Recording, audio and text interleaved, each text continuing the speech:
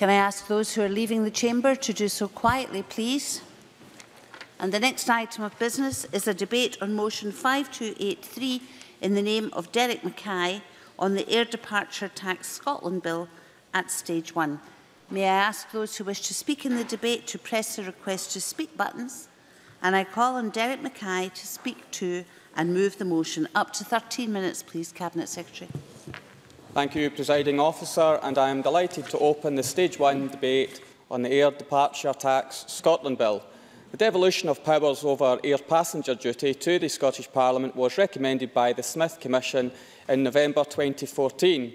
Following the passage of the Scotland Act 2016, the Scottish Parliament now has the power to legislate for air departure tax, which will replace APD in Scotland.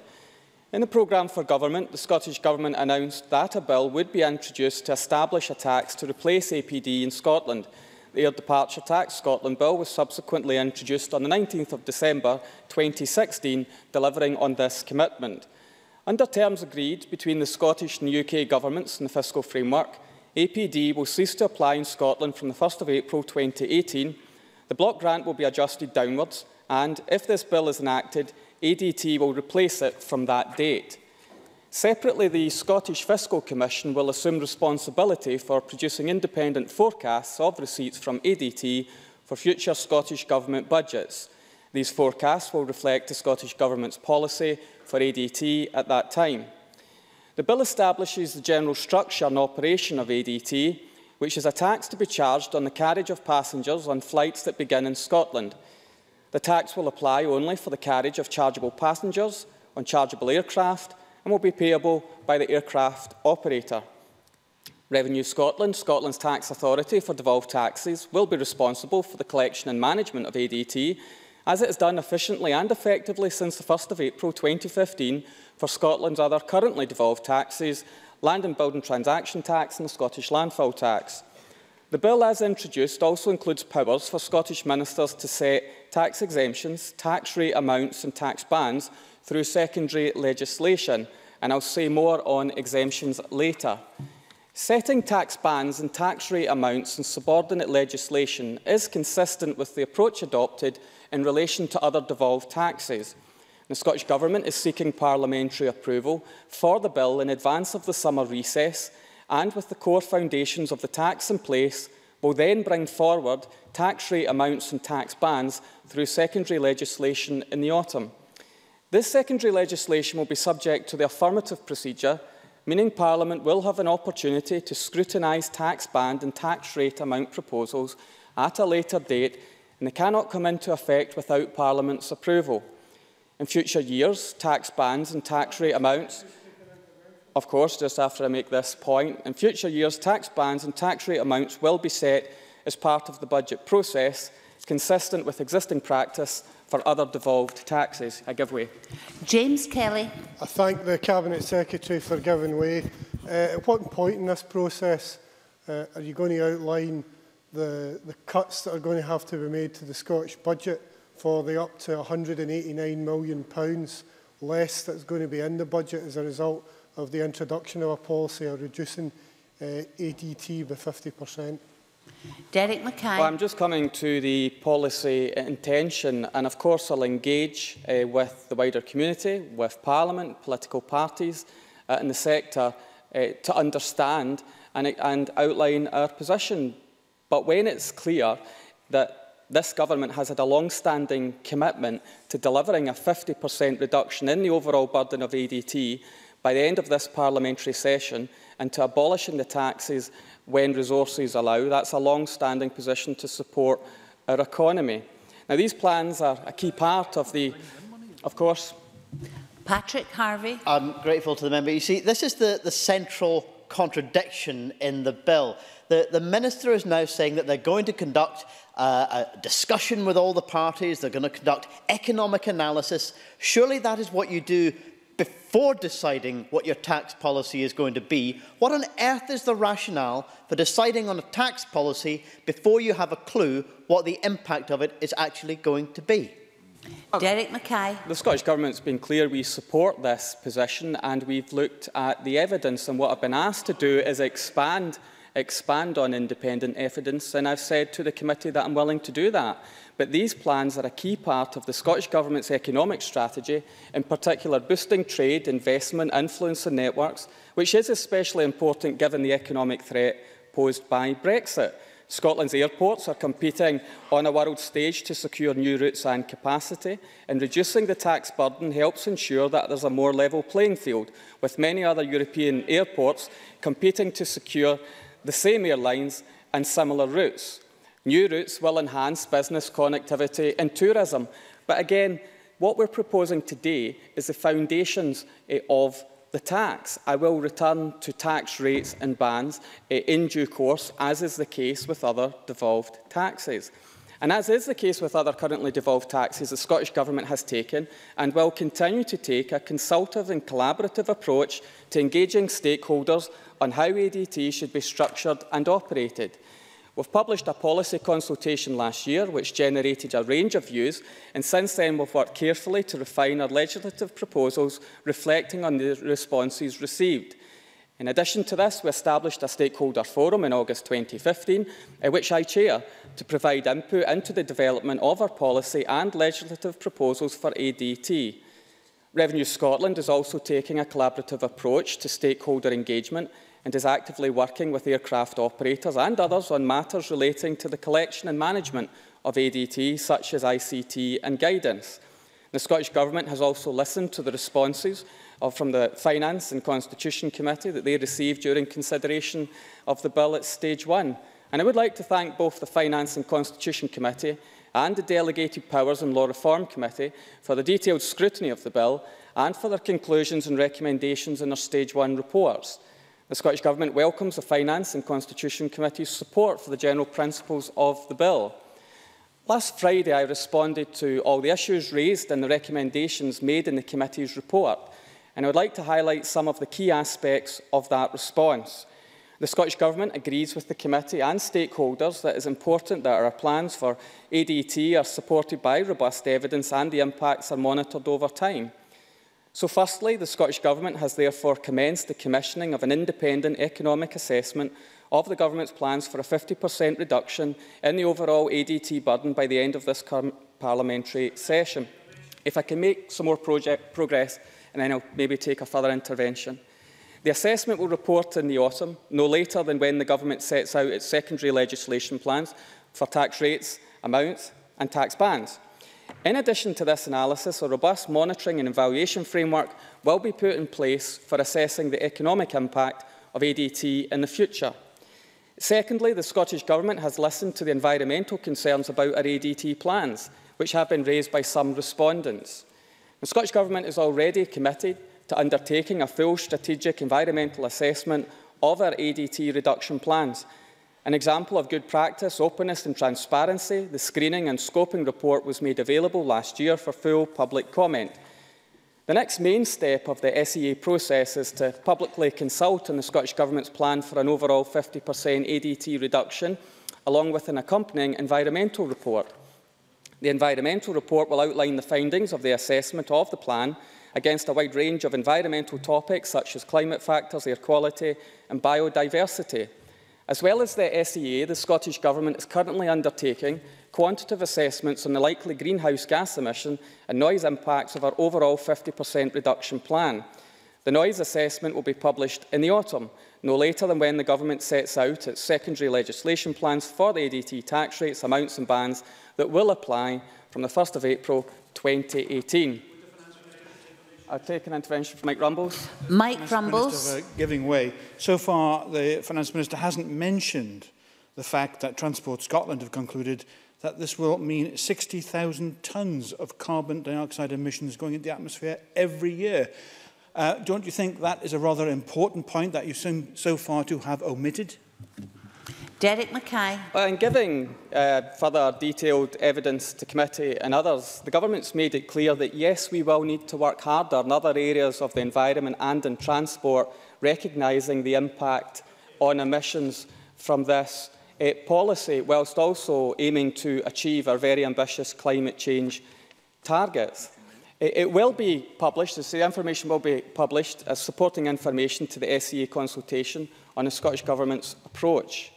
If I can now turn to exemptions and the Highlands and Islands issue, a matter very important uh, to many.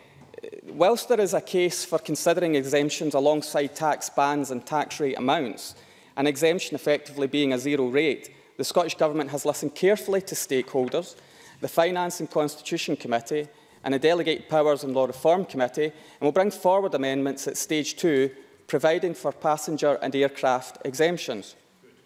I would like to, at this point, bring to Parliament's attention an important policy and legal matter concerning the introduction of an ADT exemption for passengers flying from Highlands and Islands airports.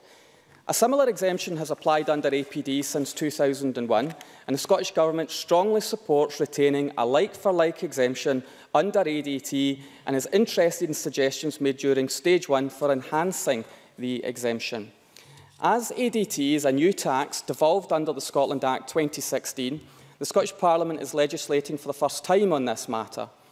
And after careful consideration, the Scottish Government's view is that such an exemption has to be notified to and assessed by the European Commission under state aid rules before it is implemented in compliance with European Union law. The Scottish Government will work closely with the UK Government to resolve this matter, The UK, as a EU member state, is responsible for notifying the exemption to the European Commission. I've spoken to the Secretary of State for Scotland as well as Treasury on this matter and I'm exploring alternative solutions. I will of course ensure both Parliament and stakeholders are kept regularly updated on the matter. In conclusion, taken together, the provisions in the bill provide the basis for a tax that is well understood by taxpayers and is simple and efficient to collect and manage. The secondary legislation powers in the bill, subject in most circumstances to the affirmative procedure, provide sufficient legislative flexibility to make future changes to the tax in order to support key government policies to reflect changing market conditions or in light of Revenue Scotland's operational experience of collecting and managing the tax. There is general support from stakeholders, and I support in this chamber too, to the principles of the bill and the establishment of a tax to replace APD in Scotland. And I do appreciate that underneath that support there are a range of views about whether or not the tax should be reduced and indeed how that tax reduction should be applied to maximise the economic benefit for Scotland. And the Government remains of the view that our approach, whereby the overall burden of the tax is reduced by 50% by the end of this session of Parliament and the tax is then abolished when resources allow, will deliver strong economic benefits for Scotland. So I look forward to debating these and other issues this afternoon. I invite the Parliament to approve the general principles of the Air Departure Tax Scotland Bill and I move that the Parliament agrees to the general principles of the Air Departure Tax Scotland Bill. I now call on Bruce Crawford to speak on behalf of the Finance and Constitution Committee. Up to eight minutes, please, Mr Crawford. Uh, thank you, President Officer. Uh, it's my pleasure to speak in this debate as the convener of the Finance and Constitution Committee. President Officer, uh, as I commence my contribution today, I'd like to put on record my thanks to my fellow committee members for the constructive manner in which they went about the deliberations in regard to the ADT bill. Can I also pay tribute to professionalism of the clerking team in assisting us in our scrutiny of the legislation and thank all of the stakeholders for their contributions. Their departure tax bill marks another important step, perhaps a milestone, or even dare I say it, a new departure in the implementation of the Scotland Act 2016. The Finance and Constitution Committee, in scrutinising the bill, recognises the bill is essentially an enabling bill.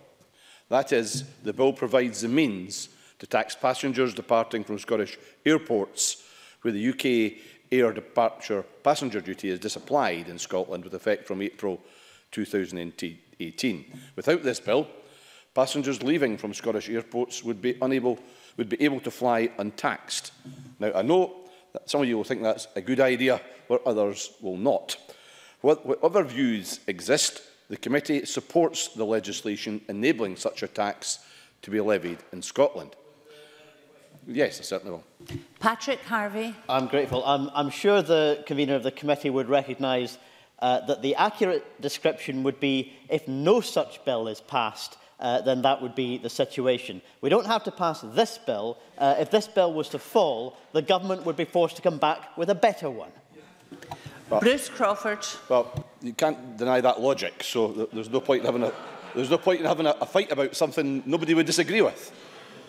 Uh, but the committee has made um, a range of recommendations in its stage one report on the bill, but I'll not have time to address all of these in my speech today. I do, however, wish to comment on the main issues, the three specific issues which emerged during the committee's scrutiny of the bill and where the committee considered improvements could be made. These issues are firstly the evidence base for the proposed 50% reduction in EDT during the current parliamentary session, Secondly, how outcomes will be monitored. And thirdly, how the exemptions to ADT will be dealt with. Presiding officer, although not actually part of the bill itself, the committee considered the Scottish Government's stated policy intention to reduce ADT by 50% and ultimately to abolish ADT when resources allow. I think it's fair to say that during the course of our deliberations, the lack of the required level of an evidence base regarding the economic impact of the proposed 50% reduction was a recurring theme. As a result, the committee recommended that the Scottish Government commission an independent economic analysis of the proposed reduction in ADT. I welcome the fact that the Cabinet Secretary's response to the committee, he's confirmed that the Scottish Government has commenced the commissioning of such an independent economic analysis. To date, the Scottish Government has not set out the tax rates and bands for ADT that it intends to apply. At the same time as publishing the proposed tax rates and bans, the committee also recommended that the forecast of the impact of the proposed 50% reduction on the Scottish budget to 21-22 should be also published alongside the rates and bans. I therefore welcome the Scottish Government's response that will indeed provide a forecast of the impact on the Scottish budget. At the same time, as it sets out its secondary legislation plans for the ADT tax uh, rates and bans that will apply from the April 2018. In a similar vein, the Scottish Government is required to publish a strategic environmental assessment alongside the tax rates and bans. In this regard, we consider that the Scottish Government should publish an analysis of the likely increase in carbon emissions arising from the proposed 50% redu reduction as part of the strategic environmental assessment. Again, I therefore welcome the Cabinet Secretary's response that a quantitative assessment of the greenhouse gas emissions will be published alongside the environmental report as part of the strategic environmental assessment. President Officer, the committee also heard wide range of evidence from witnesses citing examples from other countries where taxation on air travel has either been reduced or abolished. The committee welcomes the previous commitment from the Cabinet Secretary to provide further information on the experience of the Republic of Ireland and in particular the regional impacts within Ireland which resulted from the decision to abolish aviation tax. Presiding officer, related to the issues of economic impact of the proposed 50% reduction in ADT was how the socio-economic and environmental outcomes of the proposed reduction would be monitored. I think it's fair to say there were, there were a range of views on the committee with regard to the outcomes that may result from the proposed reduction. However, the committee was unanimous in recommending that the socio-economic and environmental outcomes arising from ADT should be reg regularly evaluated and reported upon to Parliament every second year.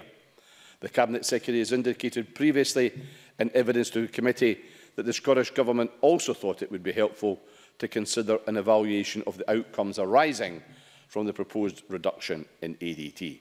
To this end, the committee recommended that the Scottish Government should bring forward amendments at stage two to place a duty on ministers to this effect.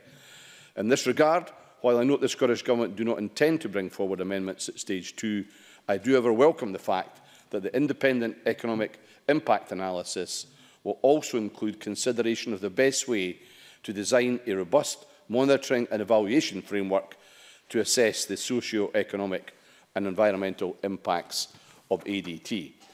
Lastly, the third matter which I wish to address is the issue of exemptions and the absence in the bill of the detail of the exemptions to ADT which the Scottish Government intends to apply.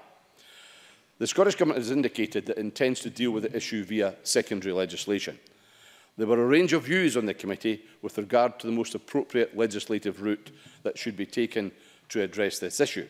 However, the committee did recommend it, albeit by division, that the Scottish Government should bring forward the detail of the exemptions it intends to apply at stage two.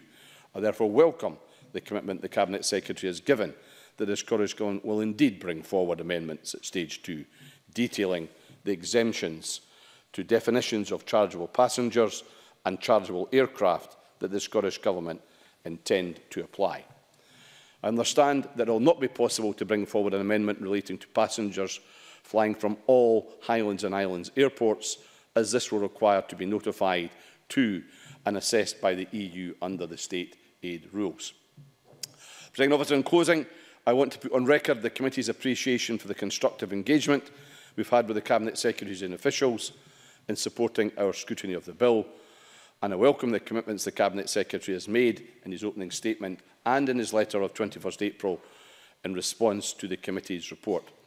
Presiding officer, in conclusion, the committee supports the general principles of the bill. Thank you. I now call Murdo Fraser. Up to seven minutes, please, Mr Fraser. Uh, thank you, uh, Deputy Presiding Officer. Can I, can I start by uh, echoing the thanks that the uh, Finance and Constitution Committee convener has given to all those who give evidence to the committee, to the committee clerks and to SPICE for all their assistance in relation to the preparation of the Stage 1 uh, report. Uh, and as we've heard, with a, with a few notable exceptions, the deliberations of the committee on the issue were largely consensual. The background to this bill, as the convener has pointed out, is the devolution of air passenger duty to Scotland as part of the package of devolution being put through by the current UK Conservative Government in response to the Smith Commission report. This allows the Scottish Parliament to decide to take a different route in relation to the taxation of air travel should it choose to do so. The bill before us simply creates a mechanism for the collection of a tax.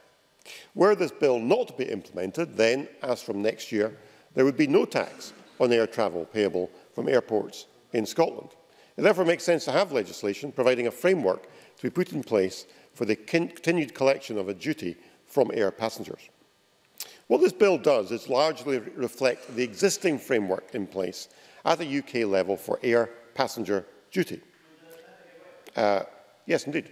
Patrick Harvie. On the, uh, on the face of it, I don't disagree with the, the, the basic description that Mr Fraser has given, but can he recall any other situation in which a government has proposed legislation to create a tax which that government itself basically thinks ought not to exist. Well, I, thank, Fraser. I thank Mr Harvey for his intervention. I, I appreciate Mr Harvey uh, will be uh, unhappy this afternoon. This, this, this bill, these proposals combine two things he likes least in the world. One of them is aviation and the other is tax cuts. And to put them together in one bill must be horrendous for poor Mr Harvey uh, in the course of this particular uh, afternoon. Uh, of course, um, uh, we haven't had much experience to try and answer his point of the Scottish Government uh, dealing with taxation. Nothing would surprise me, frankly, about the Scottish Government's approach to taxation, uh, but we'll, we'll learn more in due course. Uh, but if I could go back to, to, to what I was saying before I was uh, interrupted, in terms of the, the framework of the, of the tax, the evidence we heard from all the interested parties, and particularly the airline industry, who are, of course, responsible for collection of the tax, is they don't want to see a completely different framework established for Scotland. What they want to see are the mechanisms currently in place being replicated as closely as possible. And therefore, there was no appetite that we detected on the committee in taking evidence for creating a wholly new tax on a different basis from the air passenger duty that currently exists. Indeed, the only substantial difference seems to be that the tax has been given a different name. It's been called air passenger, sorry, air departure tax rather than air passenger duty. And cynics might suggest this is simply an exercise in changing the name for the sake of it, rather than a reflection of any different approach in practical terms. Now, the Scottish Conservatives are supportive in general terms of the bill and we'll be happy to, su to support uh, the general principles at decision time tonight. There is one principal concern that we raised during stage one that my colleague Adam Tomkins raised when we were taking evidence on a number of occasions. And this is reflected in the stage one uh, report. Um, I'm, I'm going to make some progress if I, if I can. I'll give away later if I have some more time. Uh, as Bruce Crawford pointed out, the bill does not stipulate the exemptions to the definitions of chargeable passenger or aircraft. In other words, it does not identify which category of passenger and aircraft will not be subject to the tax. As the report says, this is unusual in tax legislation, where the scope of taxation is provided for in primary enactments. This is different to the setting of rates and bans, which is normally left to secondary taxation. The equivalent legislation at a UK level is contained in the Finance Act 1994, where the exceptions to APD are set out and is also reflective of the approach taken with other devolved taxes, such as lands and buildings transaction tax. And as we've heard, by a majority, the committee agreed that the Scottish Government should take forward amendments at stage two to insert detailed permission for exemptions from the definition of chargeable passenger and chargeable aircraft. And I'm pleased that the Scottish Government have indicated that they accept this point and they will bring forward stage two amendments in this respect. Now, much of the evidence, presiding officer, that was taken by the committee addressed the policy intent of the Scottish Government to pursue a 50% reduction in air departure tax in order to stimulate economic growth.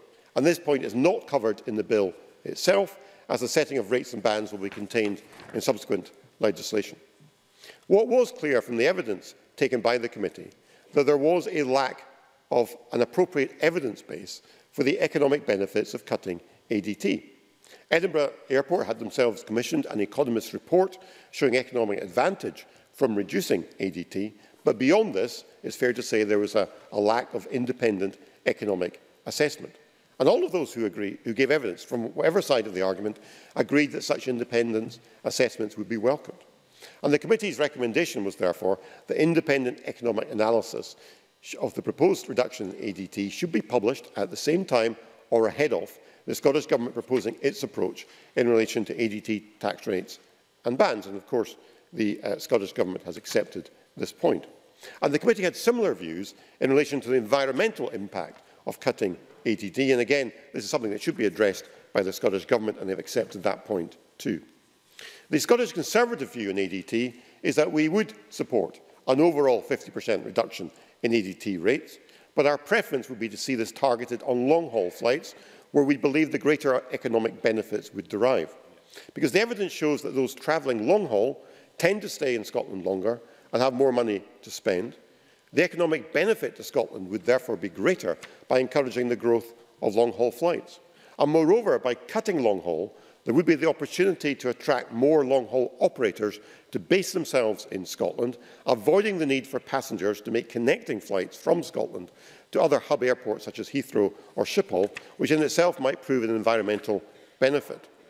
And the committee heard evidence that whilst uh, reducing ADT on domestic or short-haul flights might well have a negative environmental impact by encouraging more of a shift away from surface travel towards air, the same would not necessarily apply to long-haul flights. So, for example, Virgin Trains, in their evidence, told the committee of their concern that cross-border rail journeys between Scotland and London, in particular, would be less competitive with air travel if domestic air ADT were to be reduced. But Virgin Trains were not opposed to reduction in long-haul ADT. Indeed, they believe that encouraging more visitors to the UK through such a move would be complementary to the expansion of rail travel within the UK. So I believe that both for economic and environmental reasons, a cut in long haul, as opposed to a cut across the board, would uh, make sense. But we do accept the need for a stronger evidence base, and we look forward to seeing the Scottish Government bringing forward that evidence when it sets out its own case for rates and bands in due course. Thank you. Neil Bibby, up to seven minutes, please. Thank you, Presiding Officer. Every party represented in the Parliament today is a signatory to the Smith Agreement and has been mentioned by all the previous speakers as part of that agreement. A commitment was given, supported by all parties, to devolve to this Parliament power over taxing the carriage of passengers from Scottish airports. That commitment should be honoured and it's for that reason that Scottish Labour will vote to allow the bill to progress beyond stage one today. The bill, as has been said, is an enabling bill, an enabling bill supported in principle by the Finance and Constitution Committee. It is a bill that is required if we as a Parliament to give the Scottish Government the authority to switch on a new air departure tax where air passenger duty is switched off here in Scotland next year.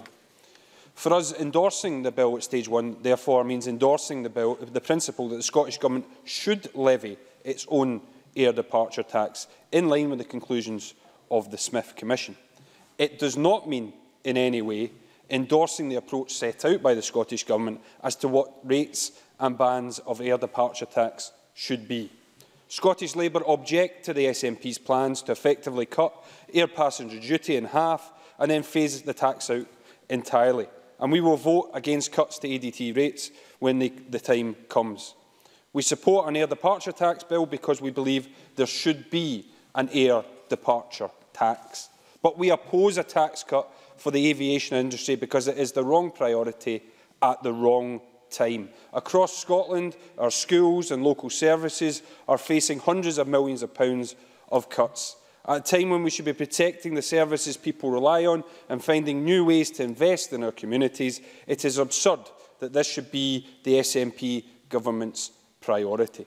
And it's unacceptable that the Scottish Government cannot tell us now what the impact their proposals to cut this tax will be on the budget. Since 2011, this government has cut 1.5 billion pounds from schools and local services. I'll say that again, £1.5 billion. 117 million of which have fallen in Renfrewshire, where the Finance Secretary and I represent. Across Scotland, SNP cuts threaten schools, care services, road repairs and more. There are public sector workers who can't afford to make ends meet, and there are many local services that our councils cannot afford to sustain. Yet the SNP tell us that they can afford to make a business class flight cheaper. It's estimated that the value of this tax break could be as high as £189 million. The key question, as James Kelly posed earlier for the Finance Secretary, the key question for the Finance Secretary to answer is what will be cut to pay for this? The axe will have to fall somewhere. Will it be schools, hospitals, bus pass cuts for the elderly?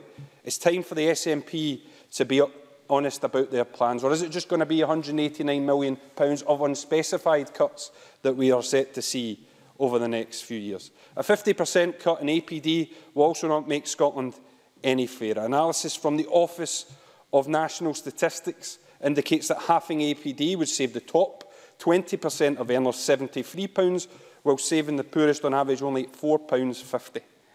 It's those on higher incomes who fly more often, and so it's those on higher incomes who would benefit the most from any cut.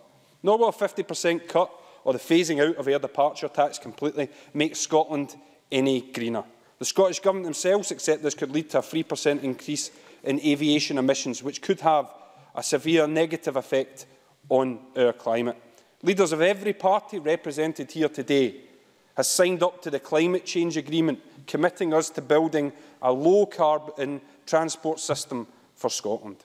Incentivising air travel at the expense of cross-border rail contributes nothing to the fight against climate change. The Finance Committee, uh, as has been said, recommended that the Scottish Government should publish an analysis of the likely increase in carbon emissions arising from the proposed tax break. And the committee also recommended that amendments should be brought forward at stage two, placing a duty on ministers to report on the socio-economic and environmental outcomes arising from air departure tax every second year. And we should go further, ensuring stronger safeguards are written into the bill at stage two. Presiding officer, the Scottish Government haven't presented us with a convincing case that a tax cut will make Scottish aviation any more competitive. They decided on what their policy is before considering the full facts and the arguments. They're only now commissioning the research to back up their claims. Changing the tax regime, I'll tell, uh, we can tell now that changing the tax regime won't in itself bo boost connectivity or improve our infrastructure. There was some uh, discussion at the Finance Committee uh, around the Irish experience of abolishing APD, because the Irish experience is interesting. The growth in passenger numbers often attributed to the tax cut there actually coincided with growth in passenger numbers right across Europe, including here in Scotland. It's not clear at all that tax cuts was actually a stimulus for growth. As Chris Day from Transform Scotland pointed out, it's noticeable that the upturn in flights at Dublin was in hand before Ireland abolished APD. Here in Scotland, Edinburgh Airport recorded an 11% increase in passenger numbers in 2016, despite existing APD regime being in place. And regularly we see motions from MSPs across the chamber uh, welcoming new routes and, uh, uh, and record passenger numbers at their local airports, celebrating the success of Scottish airports, but at the, at the same time undermining the Minister's case that an ADT cut is a necessity. Presiding officer, there is no evidence that the Scottish Government's chosen approach to air departure tax will make Scotland any fairer, any greener or more economically resilient. In fact, next to no evidence has been produced in support of the Scottish Government's case at all. The Finance Committee has said uh, unequivocally in the Stage 1 report, they say, and I quote, there was considerable consensus across all spectrums of opinion that the evidence base underpinning the proposed reduction required development. The proposed reduction in ADT currently lacks an adequate evidence base.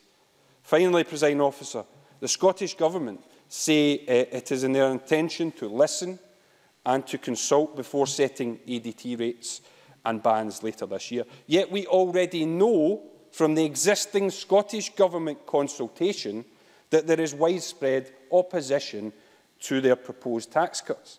If following a consultation that Mr Mackay finds yet again there is opposition to an ADT cut, will the Finance Secretary abandon his plans for an airline tax giveaway?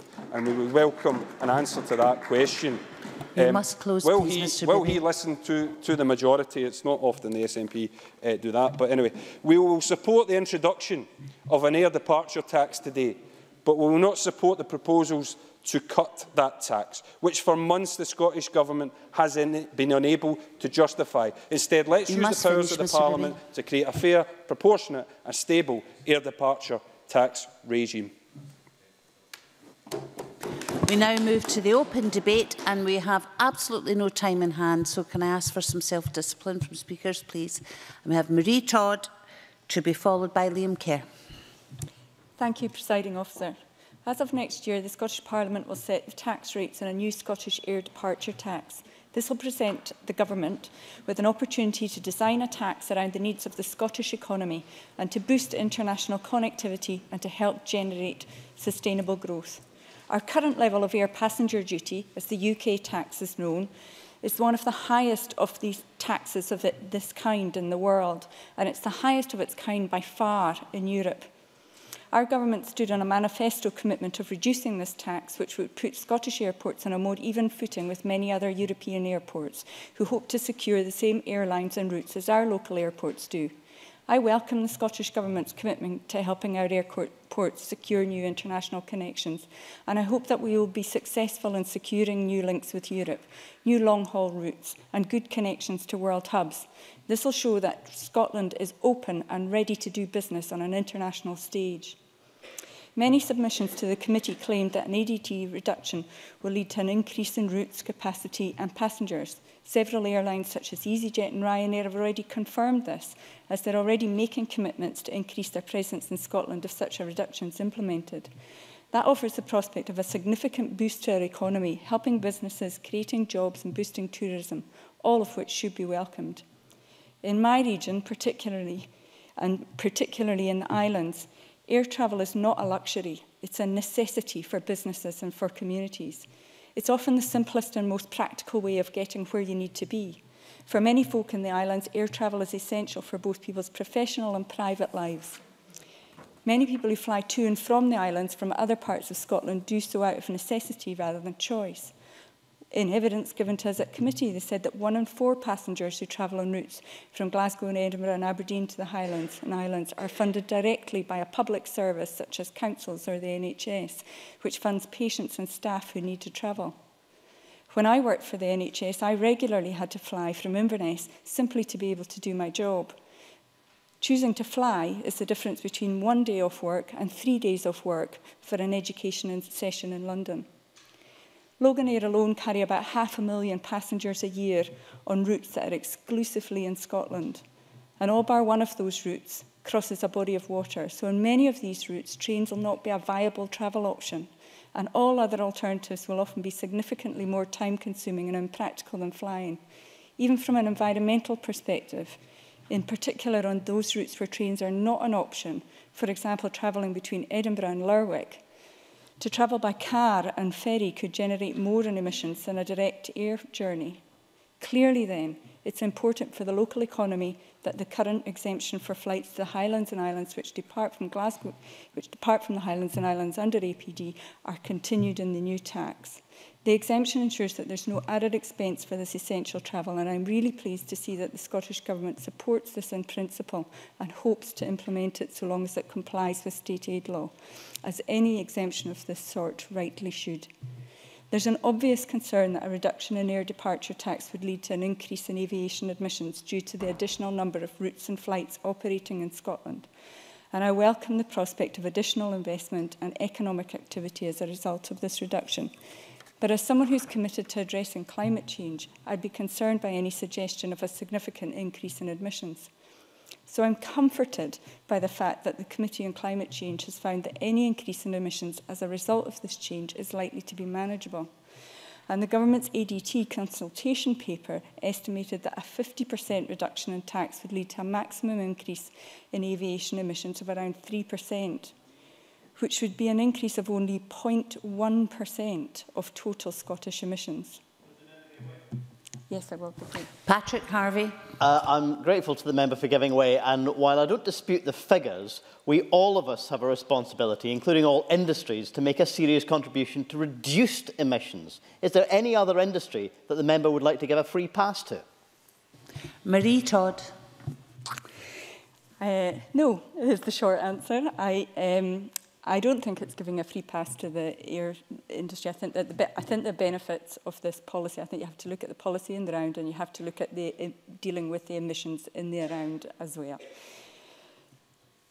It's important for us to recognise that increase wouldn't, this increase wouldn't be significant enough to affect the government's intention to reduce overall transport emissions by a third between 2014 and 2030. I welcome that ambition and I'm really glad that a reduction in air departure tax wouldn't affect that target. The Government's given both the environmental impact of this policy and its financial implications thorough consideration thus far and have given assurances that they'll continue to do so as this policy moves forward. As a newly devolved tax, this will be the first time that this Parliament's been able to make changes to this particular area of taxation, and it's absolutely vital that we consider any potential changes from all relevant angles before they are implemented. May I have Liam Kerr to be followed by Willie Coffey, please. Thank you, Deputy Presiding Officer. When travelling down on Sunday, I was thinking, what can I say about the Air Departure Tax Scotland Bill at stage one? But then I thought, as is often the problem when following Murdo Fraser, what more is there to say? For the bill simply introduces an air departure tax at the same time as the current APD will be switched off. It simply creates a mechanism for the collection of a tax. So do the Scottish Conservatives support the general principles of the Air Departure Tax Scotland Bill at stage one? Well, yes.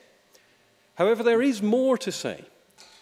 Because where it is, it, or where there is more to say is in what the bill doesn't say. Last May, in their manifesto, the SNP said of air passenger duty, quote, when the power to do so is devolved, we will reduce the overall burden of APD by 50%, with the reduction beginning in April 2018, delivered in full by the end of the next Parliament. The Finance Secretary is on record as believing that cutting air passenger duty will boost growth. And when announcing the policy, Derek Mackay said that the proposed 50% cut is a fundamental component of our efforts to boost Scotland's economy through generating sustainable growth. Now, I spoke in the Scotland's economy debate the other week and said that we need a roadmap, a plan to revitalise our economy in Scotland. And it is always dangerous to assume anything in politics. But one thing I and I think the rest of the committee were pretty hopeful of, was that the government and the SNP, when setting that manifesto, must have had sufficient evidence to make such a bold assertion about the impact of this policy. But when the Finance Secretary appeared before the committee on the 1st of March, the convener asked if the government had itself undertaken any economic assessment of the impact of a 50% cut in ADT. The answer from the Finance Secretary was instructive. He said, To the best of my knowledge, we have not commissioned any independent research of our own, but we have certainly looked at all the reports that have been provided, and we have also looked at the experience in Ireland.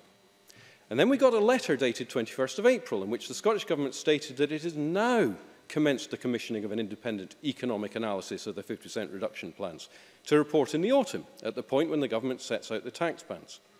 Good. But Deputy Presiding Officer, this isn't good enough.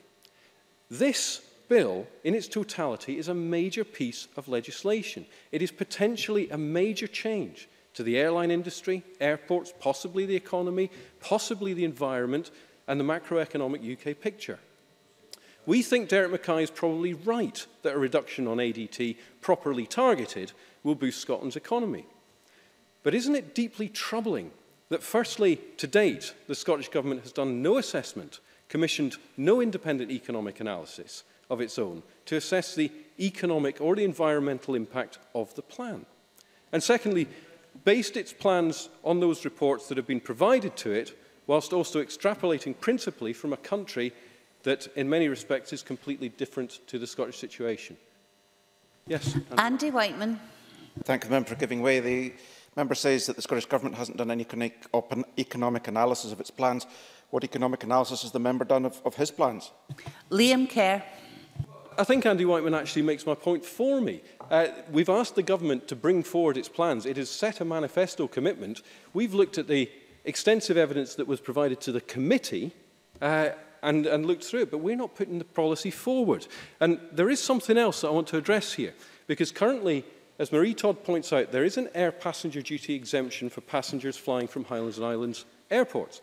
Derek Mackay in his speech talked of, as a principle, the Scottish Government strongly supporting retaining a like-for-like -like exemption, and indeed wants to extend it. Uh, because he's concluded that the removal of APD from air passenger transport in Highlands Islands is a good way to support the area economically. Uh, now, we had David Horne from Virgin Trains come in, and he warned the committee of his various concerns about modal shift if you start doing things with air passenger duty. And the Scottish Government does need to be careful of modal shift in the central belt, where the train is an, un is an unrealistic uh, alternative or not the right means of transport for a local economy, such as in the northeast or in the Highlands, as Marie talks about, oughtn't we to encourage flying, as they are trying to do in the Highlands Islands? Because the fact is that many of my constituents in the northeast have little option but to fly if they need to make journeys to London or the Midlands. And Aberdeen Airport has suffered badly through the oil downturn, with passenger numbers only now recovering following two years of month-on-month -month decline. But when I asked in committee why an exemption couldn't be considered for Aberdeen Airport in the same way as it is for the Highlands, Mr Mackay told us it wouldn't happen and wouldn't even be considered. His view was that the best way to achieve the strategic objectives of boosting air connectivity and generating sustainable economic growth is to apply ADT equally to all areas and airports. and a differentiated approach is likely to increase complexity, administration and difficulties in compliance. But these propositions clearly do not marry, and I find it deeply concerning that the government will dismiss one proposition without investigation simply for expediency and apparent ease, whilst pursuing a differentiated policy fraught with complexity and EU red tape simply because that's the way it's always been, an assumption that is the way it should stay. Deputy Presiding Officer, I said at the outset that the Scottish Conservatives were backing the bill before us today, and it's clear why. There really isn't much of substance in the bill to oppose. But what is much more interesting, which of course I use as a euphemism for concerning, is what is not included, what has been assumed, what has been decided without independent investigation. Thank you. I have Willie Coffey to be followed by Neil Findlay. Thanks very much, President Officer. I'm pleased to be able to speak in the debate in support of the Government's proposals to reduce and then eliminate the air passenger duty, the tax imposed by the UK Government on people every time they fly. Uh, the UK imposes the highest taxes than anywhere else in Europe. In fact, more than three times the rate that France applies and around double what Germany and Italy charges their citizens.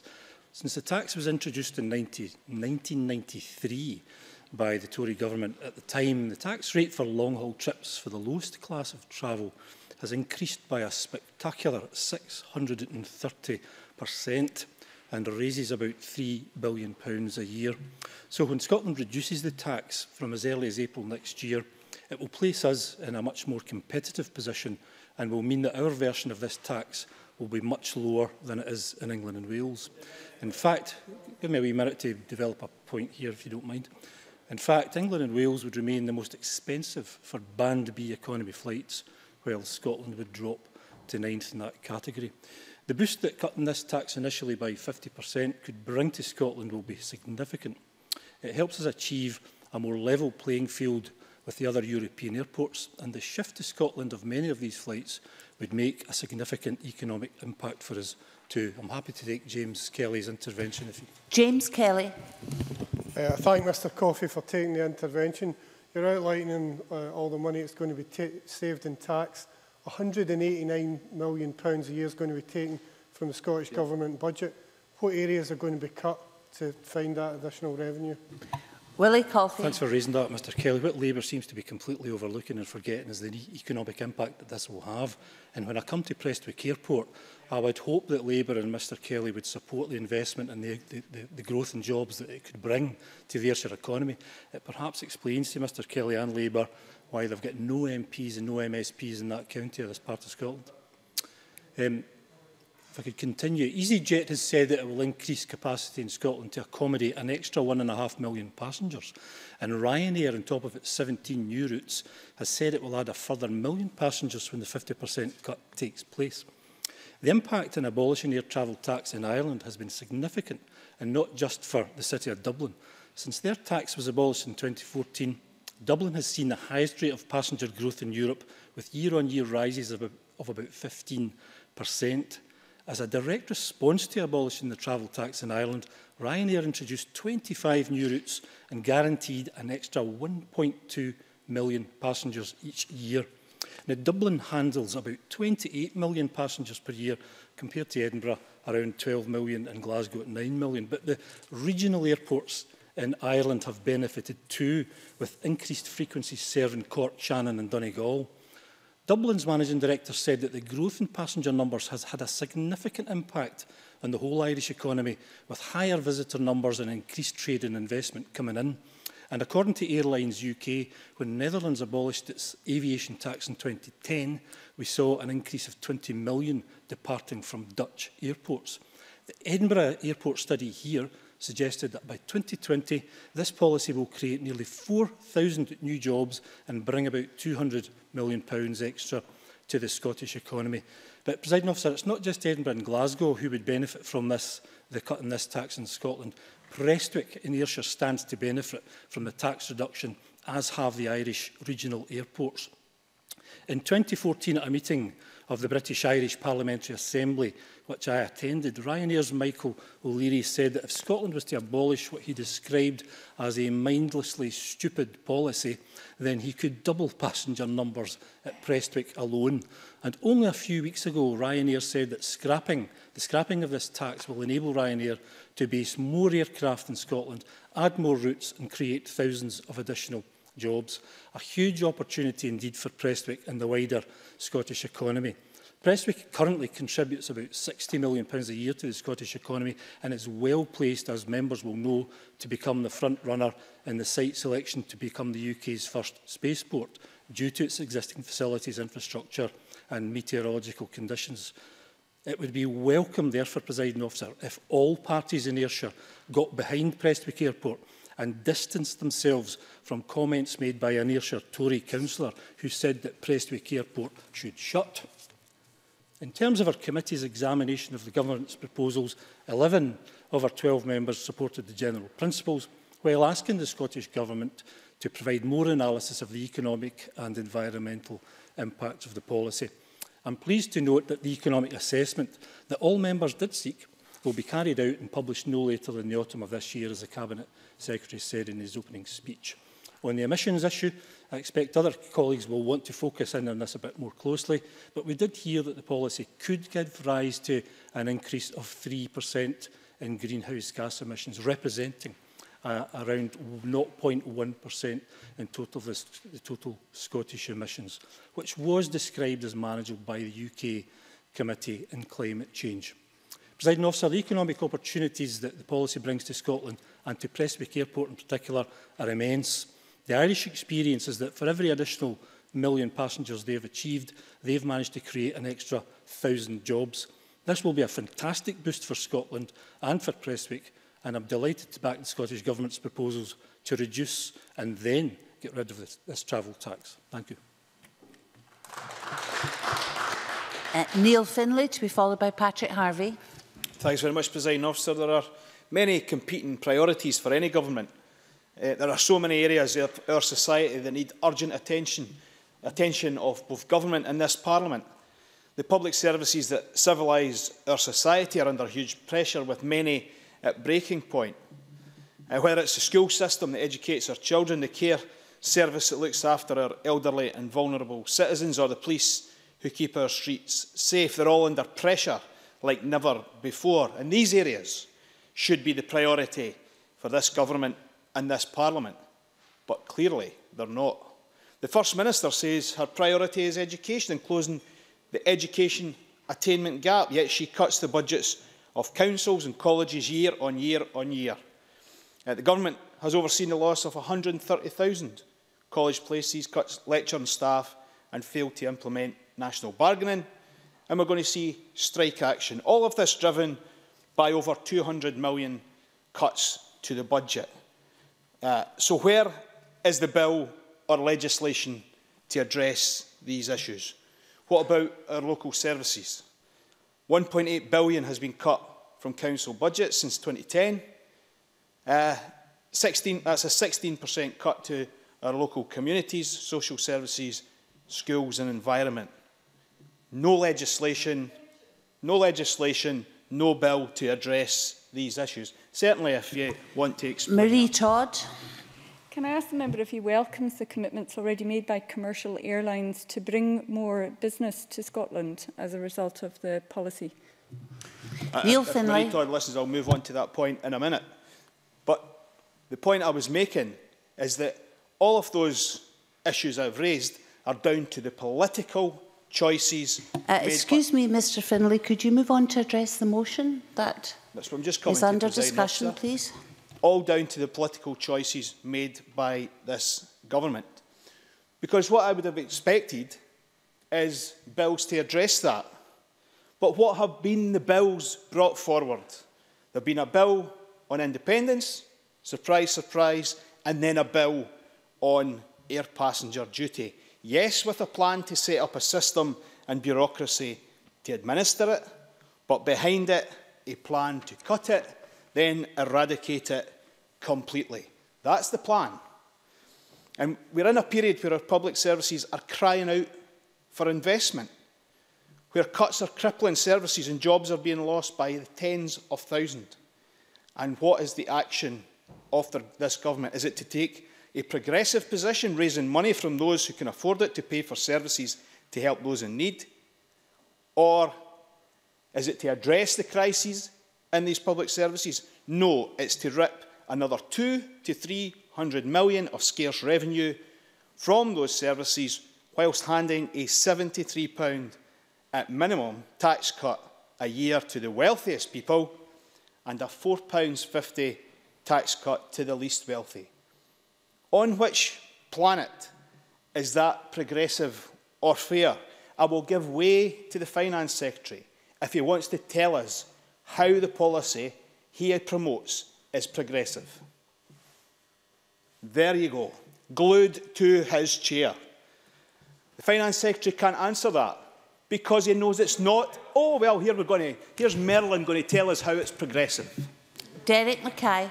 I think it says a lot that the member has to invite you by making some sort of insult. Um, I would simply say to Neil Findlay, does Neil Findlay not care for the employees of for example, Edinburgh Airport, who are trying to make an economic success of that, which is part of our connectivity, our economic success story, and ensuring that we continue to grow our economy in a way that's good for everyone, not least those who happen to be employees of airports and airlines. Neil Mr Findlay. Defeats his own argument because Edinburgh Airport is hugely successful without this cut. But you don't champion the public services that are crying out for the investment that's going to disappear. No mention of that, Mr Mackay. And you've still to tell us where the cuts will land. On which planet is the 50,000, 60,000, whatever it is, extra tonnes of greenhouse gases pumped into the atmosphere consistent with the government's stated environmental policies. Again, there appears, appears to be some magic trick going to be done where we have all of these increased flights and yet there'll be no impact on the environment. 13% of greenhouse gases come from travel and the government's own analysis shows that there's an effect. The effect of the cut will be to uh, increase air travel and the associated emissions by more than 50,000 tonnes. So, the Minister can't explain how this is progressive, and he most certainly can't explain how this is good for the environment. If we go back to why APD was introduced, it was because the avi aviation industry was heavily undertaxed, not subject to VAT, and yet this government wants to give more tax giveaways for the industry. I'm firmly, absolutely firmly of the belief that this government is completely in the grip of the aviation sector. There is no evidence that a cut in APD is beneficial to the economy. There may indeed, some have suggested, be a loss of income from domestic tourism.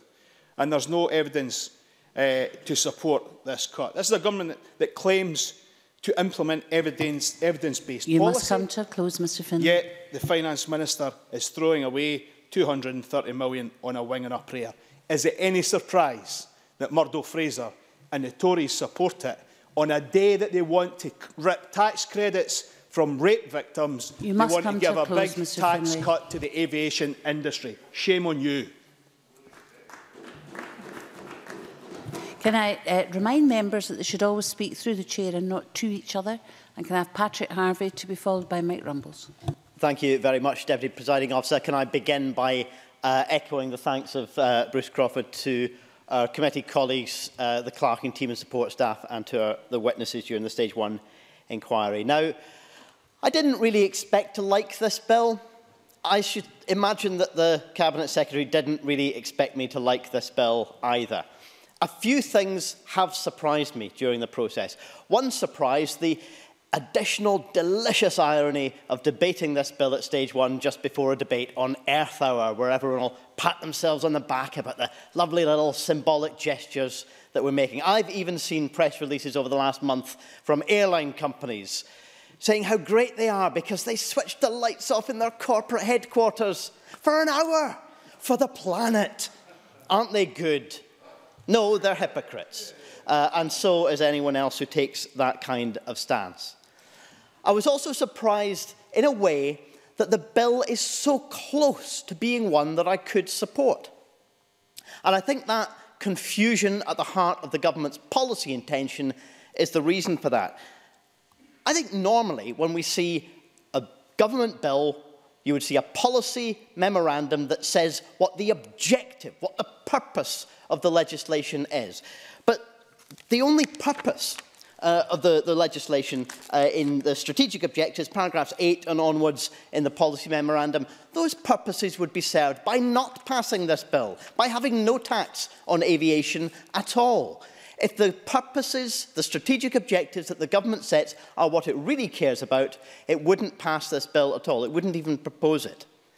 This is a tax being legislated by a government which thinks that tax ought not to exist. And so it's understandable. It's understandable that we see a bill that is bereft of meaning, of intent, of purpose. I think there is good purpose in taxing aviation differently than other forms of economic activity because it has disproportionate impacts on the environment uh, and in terms of social inequality, and we need to mitigate those forms of impact. We need to manage those forms of impact in a way that's consistent with economic objectives, but tax is an important means of achieving that. And a bill which was very clear that that is the purpose of an aviation tax would be somewhat different. Perhaps not radically different. It would not give a free hand to ministers simply to say, we'll come back to you and let you know what the rates and bans are going to be, and then you as Parliament will nod them through, Deputy Presiding Officer. We won't have the ability to amend those proposals when they come forward. We'll either nod them through or we'll be told uh, that we're um, you know, giving the, the aviation industry an even freer gift, uh, an even bigger free gift uh, by, by way of not taxing them at all. A bill that I could support would constrain ministers somewhat to at least consider the factors that are important. Let's look at the, the economic factors. The, the government and backbenchers, in, including some uh, in the debate today, have said there will clearly be a really positive economic boost for Scotland from this. Evidence? Evidence we have seen none.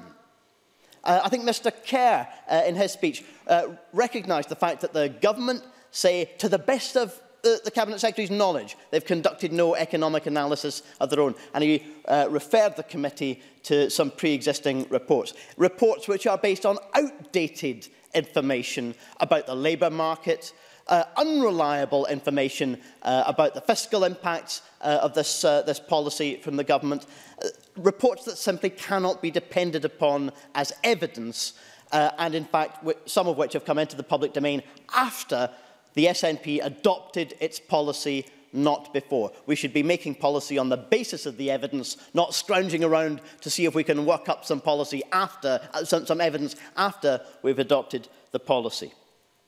The economic impacts are entirely unclear, and the government should be undertaking that analysis prior to adopting a tax policy. The environmental impacts have been spoken about, and I think uh, Mary Todd was, uh, was the first to, to talk about the limited increase, the limited increase. It's only going to be a small percentage increase uh, from our aviation emissions as a result of the government's policy.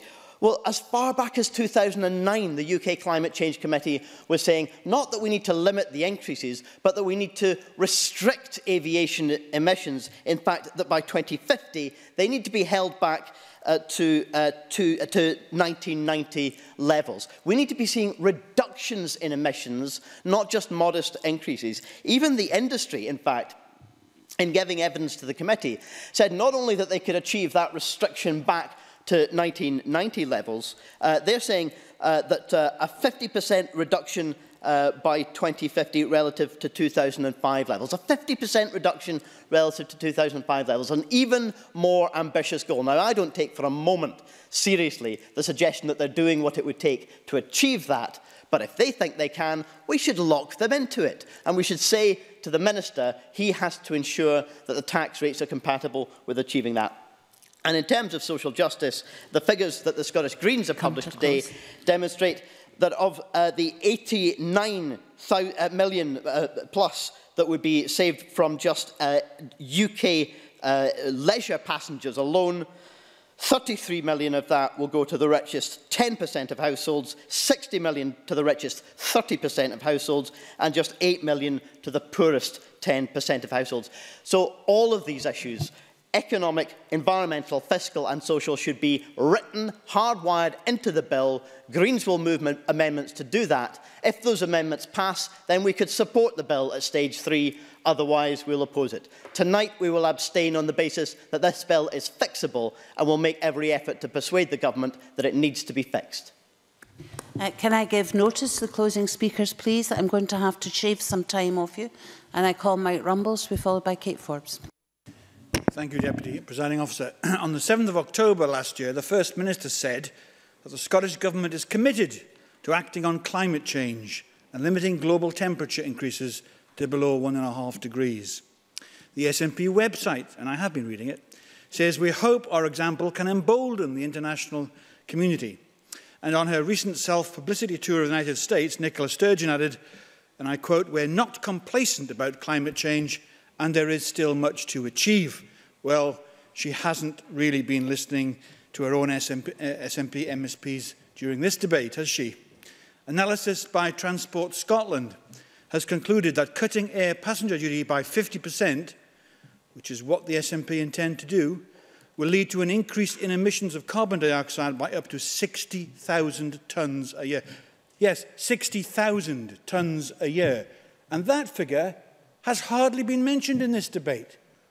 Where are all our environmentalists? Aren't we all supposed to be environmentalists now? What is the government's response? The SNP reaction is to say, well, we can offset this huge increase in emissions by making other changes in the transport sector. Oh, really?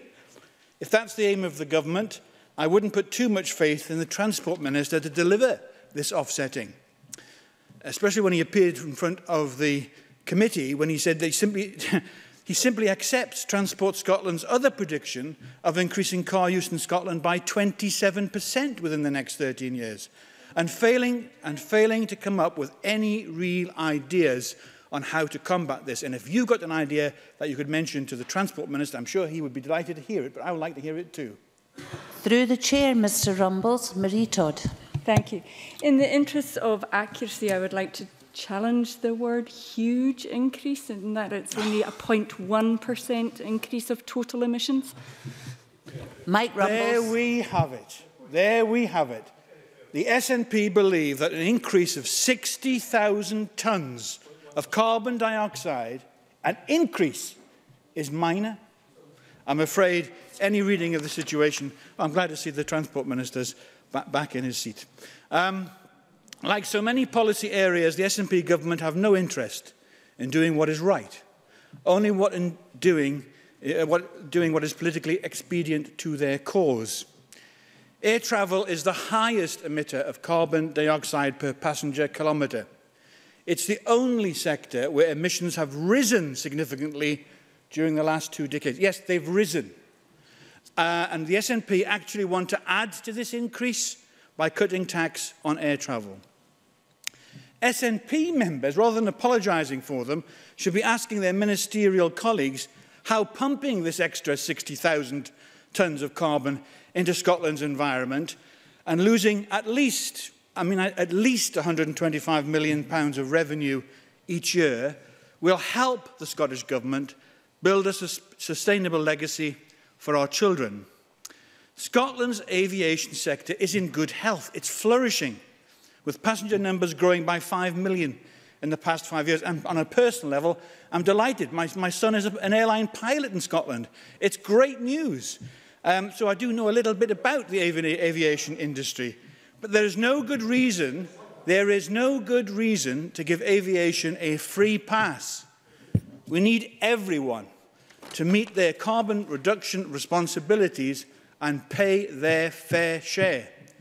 As MSPs, we get many approaches from lobbyists giving us their view, and this subject is no different. I was particularly taken by the response of the Church of Scotland to this debate, and I read their comments with great care. I'll highlight them. The Church of Scotland is disappointed by these proposals on three grounds. One, we believe they are inconsistent with Scottish Government commitments to reduce Scotland's greenhouse gas emissions.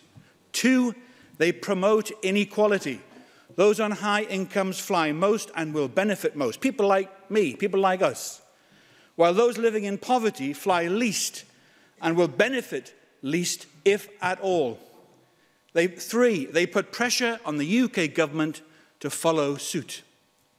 No, not only is it simply the wrong thing to do to tackle climate change, it leaves at least 125 million a year hole in the public finances, a hole which needs to be filled. Either the Scottish Government will need to raise these taxes another way, and where will that burden fall? Or it will have to reduce expenditure and cut budgets. And where will these budget cuts fall? Finally, for those who say that this vote is simply an enabling vote, and I've heard that too, to allow this tax to be levied in, levied in Scotland, just look at part three of the bill. A whole section on tax rates without any mention of what those tax rates should be. Where is the policy memorandum? It doesn't exist. It simply says in section 10, subsection 3b, regulations under this section may modify this act. In layman's terms, if we pass this bill, then Scottish ministers may change what they like in it. No, presiding officer, this is a terrible bill which gives far much, too much power to ministers and not enough power to this parliament and deserves to be thrown out. I'm with the Church of Scotland on this one, and the Liberal Democrats will be voting against this bill at decision time. I call Kate Forbes to be followed by Rachel Hamilton. Thank you, Presiding Officer, and I'll start by saying that I'm the PLO to the Cabinet Secretary. Presiding officer, the government's motion asks the Parliament to agree to the general principles of the air departure tax, with the detail coming later. I, of course, generally support the devolution of the tax, but I would like to set out quite broadly why I believe that the Scottish Government should take advantage of the devolution of this tax to bring air departure tax in line with international competition for the benefit of residents and small businesses in my constituency and across Scotland. Now, the Highlands and Islands has benefited enormously from air travel exemptions, and they would benefit even more from a Scotland-wide reduction in the Highlands and Islands, the challenges of connectivity are exacerbated, and yet our economy is dependent on movement, movement of goods, import and export, and movement of people, tourists or entrepreneurs scoping out and developing business opportunities. And air travel is a necessary part of free movement, That's why I've welcomed more flights in and out of Inverness, why I strongly support reopening the airstrip in Skye for commercial flights, and why better connectivity goes right to the heart of population retention, of job creation, of growth and resilience in the economy. And it stands to reason that as a small island country of 5 million people, domestic and international travel and movement is critical. And so, If we are ambitious for economic growth, which I am, then we need new connections, more connections, attractive connections between Scotland and destinations around the world. But that is more challenging when air passenger duty in the UK is one of the highest taxes of its kind in the world, and by far the highest in Europe. And the international opportunities for businesses and jobs in my constituency are clear. Take the food and drink industry, there was a huge increase in the value of food and drink exports last year, as food exports alone grew by 22% to £1.5 billion. Pounds. Fish and seafood, much of it caught by the fishermen on the, in a minute, fish and seafood, much of it caught by the fishermen on the Highland West Coast, recorded the largest overall increase of a whopping 1.5, one, sorry, 156 million pounds. Andy Whiteman. E- accept, however, that prawns and whisky will never pay air departure tax. And she also agree that the simplest way of reaching the government's goals of eliminating this tax would be not to waste our time here by passing any bill and just let it fall. Kate people, Forbes. Sorry. What I do know that is in the Highlands and Islands, we need more opportunities to be creating jobs in order to keep our young people, to keep families to increase the income that is generated from these jobs. And so the growth in businesses allowing entrepreneurs to take advantage of new opportunities directly goes towards retaining our population. And that is certainly one of my priorities. So it's not done yet. Scotland's food and drink industry sourcing much of its fine fare in the Highlands is Scotland's fastest growing major sector with ambitions to grow further. And what's really important is that it's not just the big businesses, but the small and medium-sized businesses that are benefiting. But to capitalise on that, we need to internationalise more in doubling food exports since 2007. We've also seen a transformation in growing markets like Asia and the Chief Executive of Scotland Food and Drink has said that the game changer for food and drink over those years, and I quote, has been developing a national brand for Scottish produce in export markets, with industry and government working hand in hand to invest in overseas trade exports and activity. And this success story has much further to go. Now, we know that smaller towns in rural Scotland are the most entrepreneurial in Scotland, places like Ullapool and Newton Moor, which topped the list, where 17% of the population are self-employed. And many of these small businesses are based on tourism or food and drink, which are dependent on travel and movement. Both sectors are doing well. Overseas visitor expenditure has risen 23% between 2005 and 2014. But how do these entrepreneurs, how do these small businesses grow and develop? Well, it's by building relationships, ideally face-to-face, -face, with partners, investors and customers. And I appreciate that the Scottish Government is doing much to facilitate that. This month, the First Minister opened Scotland House in London, a platform for making connections and growing businesses. There's a wealth of opportunities out there in London, in Europe and beyond for Scottish businesses. That is the connection between Malig, between Carbos, between the Black Isle and overseas. But it doesn't matter how many opportunities are out there if we don't have good travel links. And that is why I believe that reducing air departure tax will make an enormous difference for travel to and from all Scottish airports and directly have a positive impact on families of the Highlands. Rachel Hamilton to be followed by Ivan McKee. Thank you, Deputy Presiding Officer. It's almost taken a year, but finally We have before us stage one of a bill to debate in this Parliament. Finally, the powers that be have decided that focusing on issues other than a rerun of the same debate about Brexit is worthy of parliamentary time. This is a debate about air departure tax, and as the Chamber has heard, the Scottish Conservatives are supportive at this, of this bill at this stage. The air departure tax will replace the current UK air passenger duty and will come into effect in 2018 if passed. As such, the Scottish Conservatives welcome Derek Mackay's commitment to amendments for Stage 2 to make detailed provision for exemptions from the definition of chargeable passenger and chargeable aircraft definitions that are currently not present. And as such, the bill does not even say which category or aircraft will not be subject to tax. Further, evidence on social, financial and environmental impacts is needed. And as the Finance Committee has highlighted, before MSPs are asked to set the band rates. The approach of the introduction of this bill that took almost a year was described as odd by Transform Scotland because without the full facts available about the nature of tax and the bans that apply to this bill, it is difficult to scrutinise. The Scottish Conservatives, however, want to see a more ambitious approach to the skies, Modo Fraser announced that we propose to remove the air travel tax on flights longer than 2,000 miles, and this will incentivise airlines to provide new direct links from Scotland to America, China and other global destinations, so families and businesses do not have to travel via London's packed airports. This is good for Scotland. It will promote Scotland as a visitor destination and as a business destination, Making Scotland easy to access makes it an easier place to do business and, e and an easier place to get out and see our sites. All of this is part of our plan to get Scotland connected to the global economy. To put this into perspective on the uncompetitiveness of the current situation in the UK, the World Economic Forum's 2015 Globe Travel and Tourism Report lists the UK as 137th out of 140 countries in terms of ticket tax and airport charge competitiveness.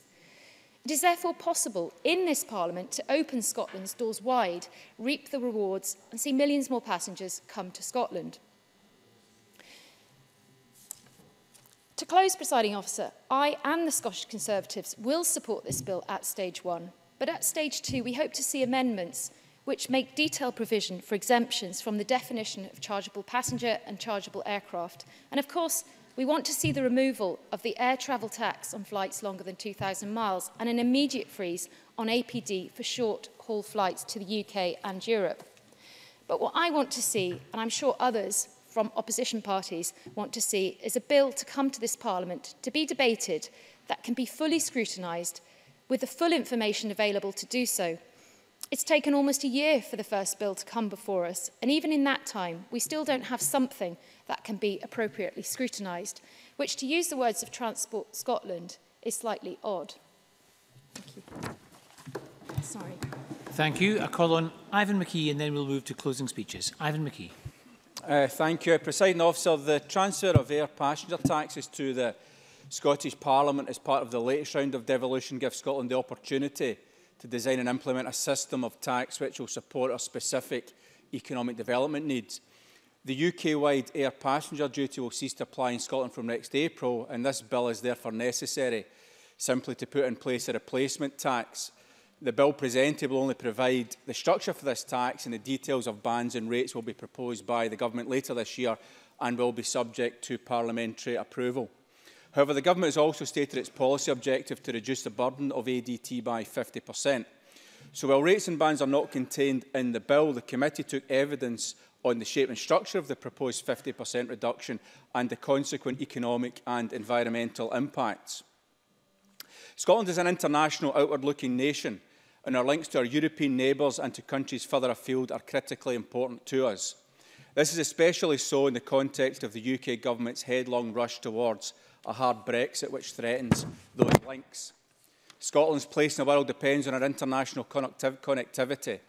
Direct international flights are a key part of that connectivity and steps to increase that connectivity should be encouraged to boost business, including inbound tourism, further develop cultural links and encourage free movement.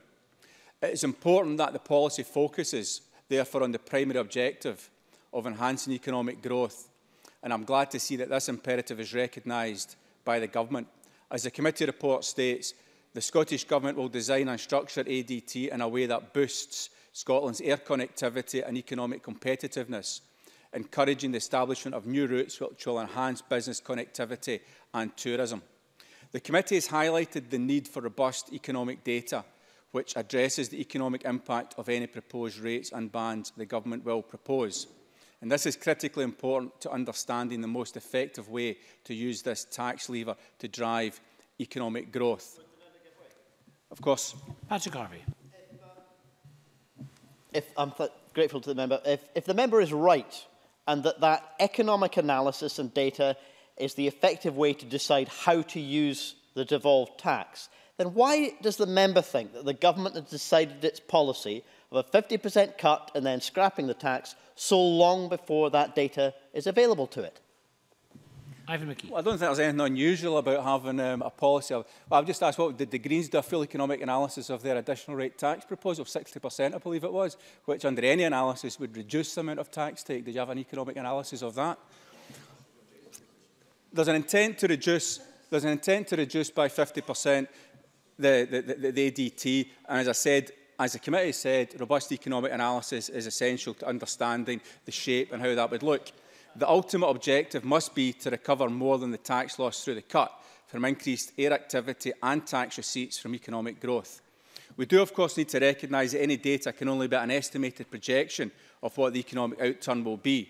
Indeed, anyone who's been watching the committee's investigations into the relative changes to LBTT will understand the challenge in assessing economic impact of policy changes which have already taken place, never mind those still not implemented. Unpicking policy impacts from wider economic trends is not always easy, as is the assessment of our old friend, the counterfactual.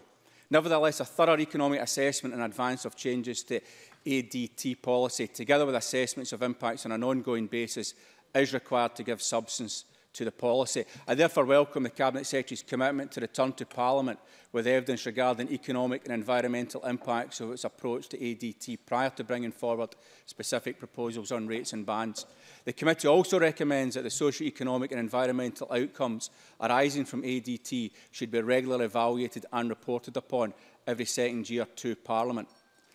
The most effective use of reductions in air departure tax as a mechanism to drive economic growth will come through understanding that a one-size-fits-all policy is too blunt an instrument to maximise that objective. While the committee held that simplicity of implementation and operation of the tax is a factor in the design of a future ADT system, it is also important not to lose sight of the primary objective and to deliver a reduction in that tax which recognises that reductions for some types of flights may deliver significantly more economic benefit than others. In other words, a differential approach. The committee heard about lifeline flights to communities in the Highlands and Islands where alternative transport solutions are limited and the need to support those communities is well understood and measures to ensure these flights are free from ADT should be a priority. Flights from the Central Belt to London and other large cities, however, compete with frequent fast rail routes, and there's an argument that ADT reductions in that context would deliver lit do little to support the, growth, the primary objective of maximising economic growth. Measures that encourage direct flights to European cities and beyond, on the other hand, can deliver significant benefits to our economy, in particular if targeted at locations where the scope for business and inbound tourism is greatest. The UK is one of the highest rates of air passenger taxes in the world, and this may make sense to maximise revenue from London airports where demand outstrips supply. But in this, as in many other government, UK government policies, what works for Scotland, for London and the South East is not always the best policy for Scotland. And we need to derive a, a policy for ADT that makes most sense in the Scottish economic context. In conclusion, presiding officer, I look forward to receiving the government's economic analysis on its proposed rates and bans. I look forward to crunching the numbers and working through them in committee with the cabinet section as officials, and I look forward to Scotland implementing an AD policy, ADT policy that supports economic development and international links. Thank you. We move to closing speeches. I call on James Kelly to wind up for the Labour Party. Uh, thank you, Presiding Officer. I'd, I'd like to start uh, reiterating the comments from other colleagues in the debate, thanking the clerks on the Finance Committee uh, and also Space for the excellent work they did in backing up the, uh, the, the, uh, the, the narrative that was produced in the Stage 1 report. Uh, in terms of the Labour Party's position in this debate, we will support the general principles of the bill as Neil Bibby outlined in his opening speech. Uh, clearly, the air departure tax uh, is a logical conclusion of the Smith Commission and the devolution of the replacement of APD. Uh, we support that tax um, because it gives uh, an additional lever to raise money from those who can afford uh, air travel to contribute towards the, the Scottish budget. And we also support it from the point of view of seeking to reduce carbon emissions. So there's a logic in having that uh, tax in place. However, the Scottish Government's uh, reason for bringing this bill forward is to ultimately uh, reduce the tax uh, by 50% and ultimately uh, abolish it. And it has to be said that in terms of supporting that policy, the evidence in this bill brought forward by the Cabinet Secretary, Derek Mackay, has been wholly inadequate. The policy memorandum clearly sets out that the objective is to reduce the, uh, uh, to reduce the effect of ADT by 50% by the end of this Parliament. And as the financial memorandum uh, sets out by 2021-22, that would have the effect of uh, reducing the impact on the Scottish, reducing revenue to the Scottish Government by £189 million. Pounds uh, and we've not seen any analysis uh, as to how that money that would be lost from the Scottish budget uh, would be replaced. You know, Willie Coffey spoke about the economic benefits of this policy, but we've not seen uh, anything, um, to anything from the government um, to back that up. When the Smith Commission set out the devolution of this tax, they also said that the environmental impact should be set out uh, when it was going to be used. And that's something that has not been done um, uh, in this bill. As Patrick Harvie pointed out, in terms of the submissions that we have seen that, that provide some analysis, mainly from the airport operators, those submissions um, you know, are, are in some way dated and not up to date. For example, they were all done before Brexit and they don't take any, uh, any cognizance of the, the Brexit impact. So what we actually have is a situation where Derek Mackay has outlined today that he intends to bring stage three forward before the end of the summer recess and uh, he's making it clear that any analysis would be later than that when the secondary legislation kicks in. So we're going to be asked before the summer to, to agree this bill and to agree the basis of the, the policy memorandum without any proper analysis uh, or submission from the government. And That leaves us in a position where, as Neil Finlay correctly pointed out, you need to question the fairness of that policy because as the ONS outlined, uh, the top 20% of earners will be £73 better off, whereas the bottom eh, 20% earners would only be £4.50 better off. That is not a progressive policy and is wholly unfair. And if you look at some of the the, the other impacts of you know, people travelling throughout Scotland, for example, uh, a, a student when they turn 19 no longer um, has access to the, the Young Scot rail card and has to pay a full uh, season ticket fare, uh, therefore incurring substantial travel costs, particularly if you are a student. Uh, Marie Todd made the point that, you know, airport travel in the Highlands was an absolute necessity. Well, if you're an apprentice staying in Cambuslang and you're earning less than the, the national living wage, but you require to travel to Cambuslang to reach your place of employment to successfully complete your apprenticeship, then that travel is absolutely essential. But bus travel from Cambuslang to East Kilbride and the substantial cost incurred uh, heavily bites in to the wages that you earn if you're on less than the national living wage. So we need to ask the question um, how these priorities are going to be served and also, uh, as others have pointed out, how this lines up with a policy of seeking to reduce carbon emissions. Um, you know, I've heard minister after minister, not just in this chamber, but out um, at receptions and in media events, uh, declare proudly about the world-leading climate change legislation that the Scottish Parliament uh, has passed, and that's, that's absolutely correct. But the logic of this policy is that you're going to increase air travel and therefore uh, increase car carbon emissions. So it seems to me that that does, I'm sorry, but I'm running out of time, So it seems to me that it does, it's, not, it's not consistent with the Scottish Government's policy approach. So in summing up, um, presiding officer, I think the, the government's policy approach to this has been incoherent and their submission of evidence to back it up uh, has been inadequate. And I think it's time they, they thought again on this and brought forward more substantive evidence to back up their policy uh, before we get to the stage three debate. Thank you, and I call on Dean Lockhart to wind up for the Conservative Party. Thank you, Presiding Officer. Let me start by saying that it is welcome, if somewhat rare, opportunity to discuss draft legislation in this chamber. We've uh, heard a range of different views on how this Parliament can use its powers in respect of air passenger duty or air departure tax, as it will be known going forward. While each party clearly has different views on the future of ADT, the debate today has centred around three main issues. Concern about the lack of detail set out in the draft legislation. When and how do we get the details? The objectives of the government's proposals, what is the government trying to achieve, and the next steps required to take this legislation forward, and in particular, the level of parliamentary scrutiny of any secondary legislation. Looking at stage one of the legislation, uh, Liam Kerr, James Kelly and others have highlighted the fact the bill lacks detail in a number of important areas. It fails to set out the basis of liability for this new tax, which is a fundamental issue in any tax legislation. It also fails to identify which category of passengers or aircraft will be exempt from the tax. There are no details of the tax bands and the tax rates which will apply, and there has been, as we've heard, there has been no independent assessment of the economic, financial and environmental impact. As Rachel Hamilton highlighted, this lack of detail led the Delegated Powers and the Law Reform Committee to express its disappointment that this legislation has been introduced in the absence of full development of the government's policy.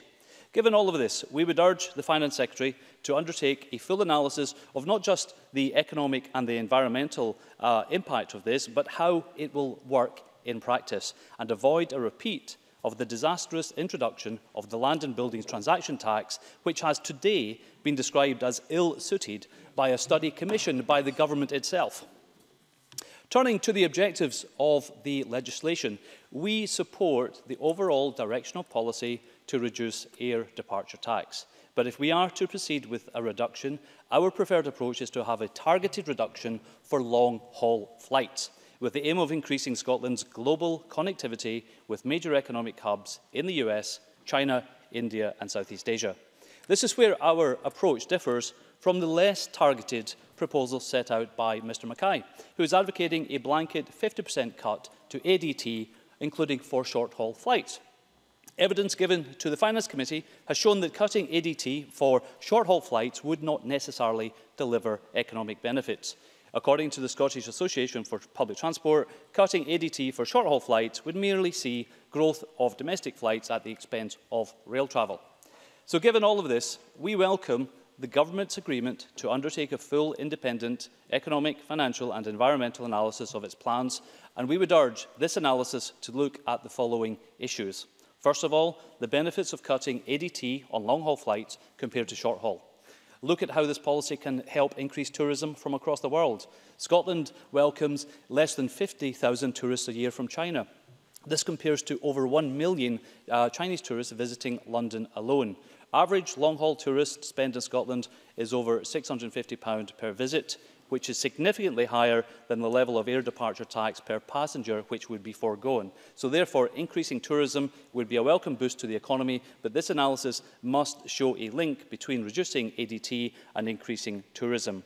As highlighted by Kate Forbes, we also need to look at how we can capitalise on more direct long-haul flights to increase our exports to the rest of the world, which have increased by 75% over the past 10 years. And finally, we need to look at how we can minimise the environmental impact of these proposals. Presiding officer, other parties have expressed their outright opposition to any cuts to ADT. Labour's view, as summarised by Neil Bibby and others, is that this is a tax for those who can afford to fly, and it comes at the expense of other parts of public spending. But I think this looks at the wrong end of the equation. What we're suggesting here is, if targeted properly, targeted properly, a reduction in ADT will boost Scotland's global connectivity, I will, I will in a second, will boost Scotland's global connections and, it, uh, if implemented properly, should result in a boost to the economy, encourage more people to do business in Scotland, with Scotland, to visit Scotland and to invest in Scotland. I'll, I'll give way. Neil Bibby. The, the SNP's proposed airline tax break will cost uh, £189 million.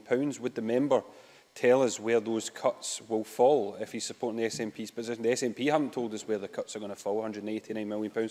Will he tell us where the Tories will cut to fund this policy? La thank you. Uh, last year alone, uh, tourism in, in the Scottish economy was, was worth almost £2 billion. Pounds. So if we were to increase tourism by 5 or 10%, that would result in a boost, a much needed boost to the Scottish economy. So we're not looking at cutting. We're not looking at, no, I, I need to make progress. We're not looking at cutting spending. We're looking at growing the economy and in future growing the Scottish Government's budget in years to come. We also heard from others about legitimate concerns surrounding the environmental impact of any reduction to ADT.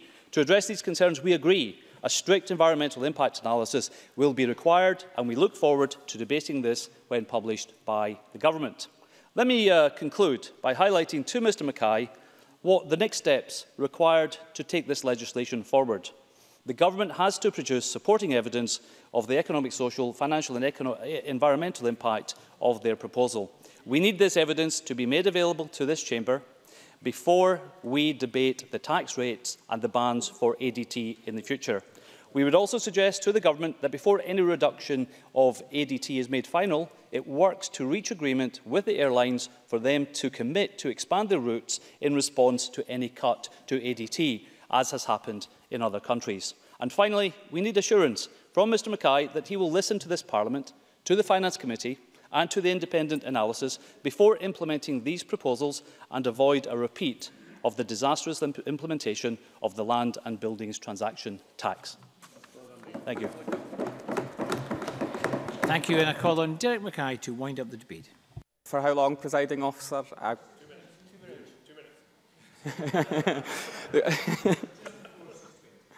okay. Thank you, Presiding Officer. I heard the um, opposition demand for more time to continue this uh, debate for those uh, enthusiasts listening at home.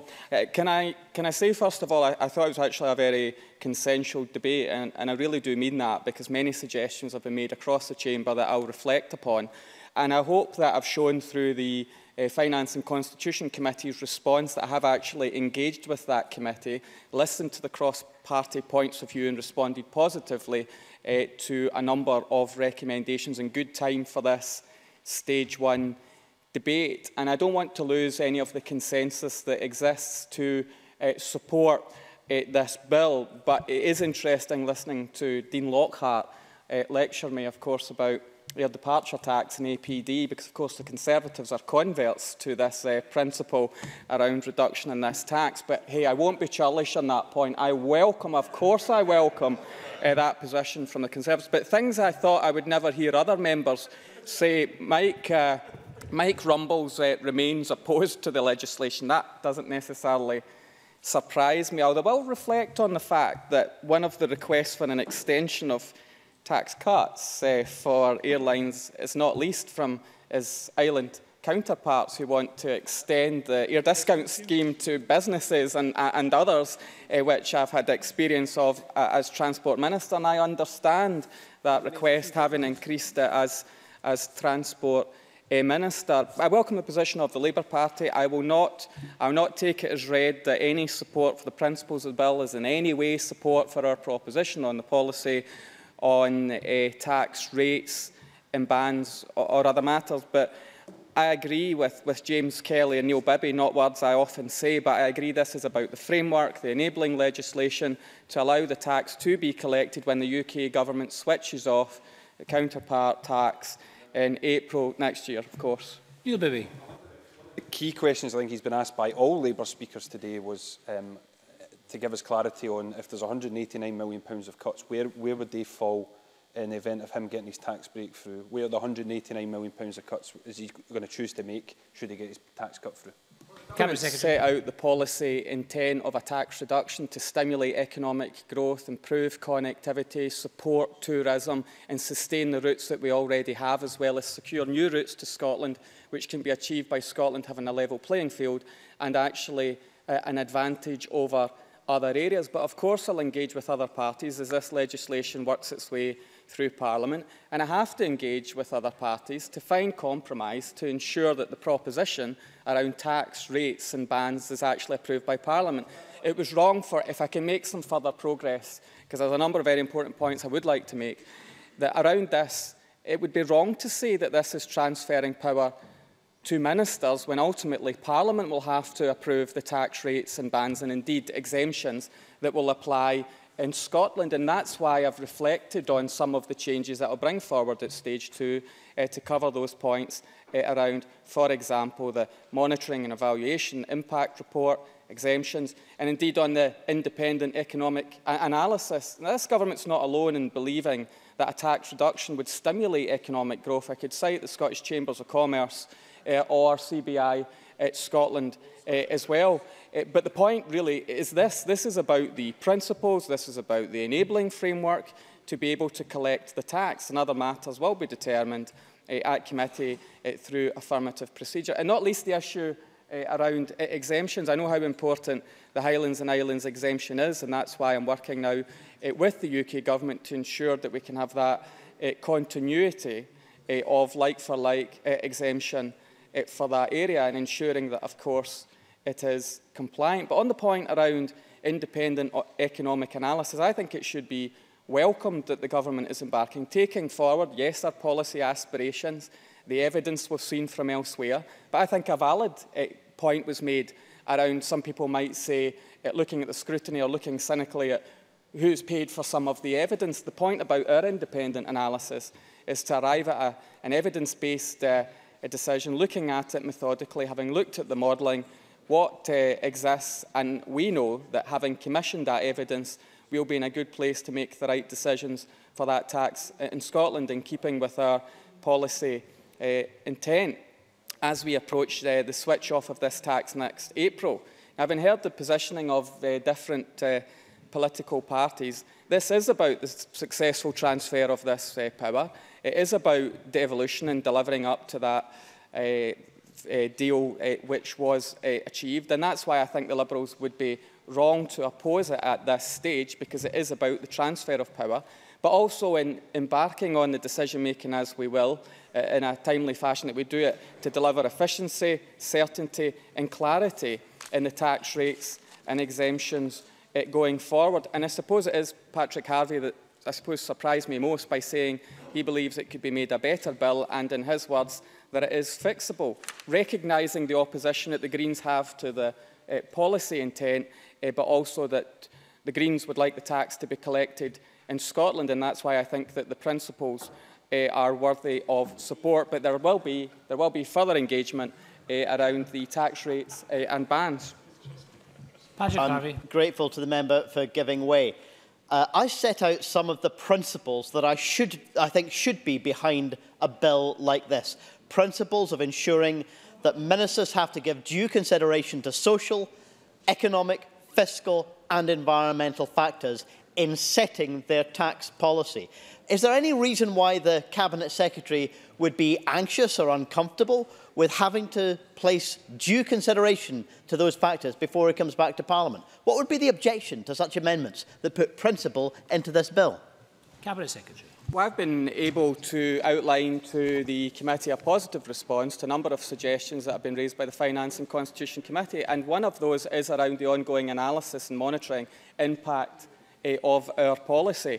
So, of course, we'll take a close look at the impact of the decisions that we make as a government uh, and as a parliament. And we have been balancing issues around affordability, economic growth, environmental impact, and we've been able to cover some of that. And we'll also be informed uh, by further uh, environmental uh, analysis, including the strategic uh, environmental assessment that will inform decisions around air departure tax. So I think we have to look at this in a balanced fashion, continue to engage with political parties, recognising that this is a transfer of power, and we want it to be successful, and we also want to use this uh, tax in a way that both stimulates the economy, uh, supports connectivity, and particularly uh, in light of some of the economic challenges and the, the situation coming from Brexit, to use this in a way that supports the economy, uh, whilst also addressing the environmental concerns that have quite legitimately being raised, uh, whilst looking at the wider transport envelope as well. And a, num a number of members have focused on the environmental concern. Of course, this government is delivering on our environmental targets and we will set out further actions uh, through our climate change efforts uh, as well. And this government's record is a very strong one in delivering ambitious climate change uh, targets. Uh, I'm almost ready to conclude, but I thank uh, Mike Rumbles for his offer to intervene to further oppose uh, the bill, which seems to have consensus uh, across the chamber. And there will be further engagement through stage two and stage three as to how we take it forward. And of course, I heard, listened very closely to what the Conservatives and others had to say around sharing some of the further evidence and analysis and good time to be able to inform the decisions around rates and bands, of course addressing the exemptions issue in the way that I've outlined. And a number of members have said this is the first piece of legislation that the Parliament has considered. That's not the case. It might be a surprise to members, but we actually approved a budget bill which had various stages to become a law and is delivering hundreds of millions of pounds of extra investment in the public services of Scotland. But I look forward to uh, engaging with all members to take this legislation forward following this very consensual debate to ensure that we deliver this tax in a way that is competent, that's clear, it's in keeping with the Adam Smith principles and follows on from the successful currently devolved taxes such as land and building transaction tax and the landfill tax to ensure that it does support the economy uh, and deliver on the policy objectives as outlined. And I therefore invite the Parliament to approve the general principles of the Air Departure Tax Scotland Bill.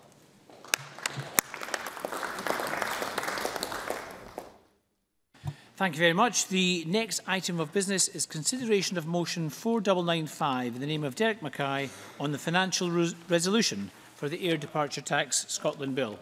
Point of order, Patrick Harvie. I'm, uh, I'm grateful and I, uh, I'd like to apologise, presiding officer, for giving you only very late notice of my uh, intention to raise this point of order about the financial resolution. Rule uh, 912.3 uh, of our standing orders is the rule which requires a financial resolution in respect of certain bills, a, a financial resolution to be passed before a bill can progress past stage one. I don't think that we're in breach of that rule in any way. Uh, but I would like to ask uh, for you to reflect upon it. The rule says where a bill contains provisions which charge expenditure on the Scottish Consolidated Fund or the likely effect of which would be to increase, significantly increase uh, expenditure charged on that fund or give rise to significant expenditure payable out of that fund for a new purpose or for an existing purpose, that is the requirement for a financial resolution. We're to de today debating, however, a bill whose principal financial impacts are through taxation revenue, not through increased charges on the consolidated fund. Now, the, the existing rule is indeed triggered in respect of this bill, but the financial memorandum that the government has provided for us uh, only addresses those additional expenditure aspects it isn't required. The government isn't required to produce a financial memorandum that goes into the taxation revenue impacts uh, of the financial impacts of a bill. Uh, can I ask if you would consider whether this rule in our standing orders is still adequate now that we're in the era in which we legislate uh, on bills such as this, whose principal financial impacts are on tax revenue? Uh, thanks very much, and thank you to Patrick Harvey for giving me some advance notice, very little advance notice, of the point of order. Uh, in this particular case, there were other considerations in the bill uh, which I had to consider and which did trigger uh, the need for a financial resolution. So in this case, we will be able to go ahead this evening. However, Mr Harvey does raise a very interesting point about the wording of this standing order, which I will take under consideration. Uh, however, having said that, could I ask the Cabinet Secretary to uh, move the motion 4995 and the financial resolution for the air departure tax Scotland Bill? Moved. Thank you. The next item of business is consideration of legislative consent motion 5286 in the name of Michael Matheson on the Criminal Finances Bill. Could I ask Michael Matheson to move the motion? Moved. Thank you. There are seven questions to be put as a result of today's business. I would remind members that if the amendment in the name of Ruth Davidson is agreed, then the other amendments fall. So the first question is that Amendment 5282.4 in the name of Ruth Davidson, which seeks to amend Motion 5282 in the name of Nicola Sturgeon on child tax credit cuts be agreed. Are we all agreed? No. We're not agreed. We'll have a division and members may cast their votes now.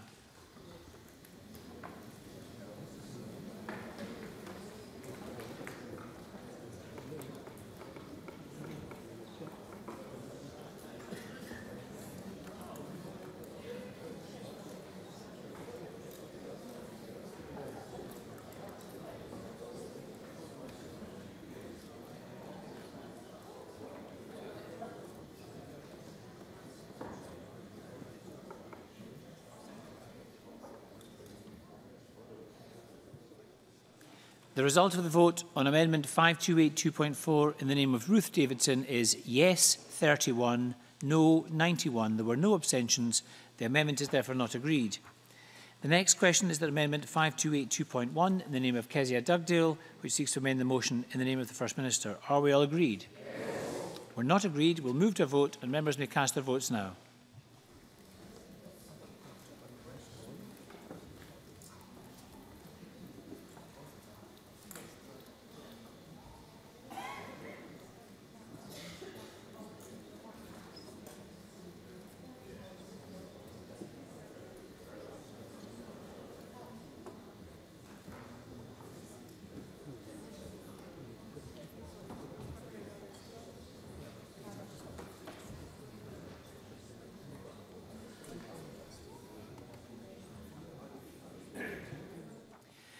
The result of the vote on the amendment in the name of Kezia Dugdale is yes 91, no 31. There were no abstentions. The amendment is therefore agreed. The next question is that amendment 5282.2 in the name of Alison Johnson, which seeks to amend the motion in the name of the First Minister be agreed. Are we all agreed? Yes. We're not agreed. We'll move to a vote and members may cast their votes now.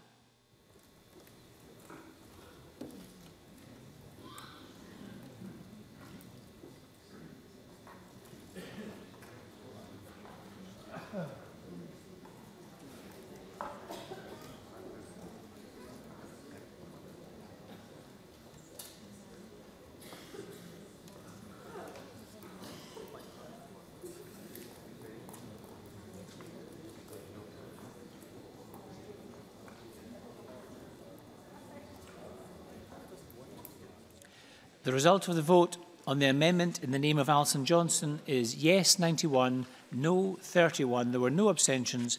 The amendment is therefore agreed.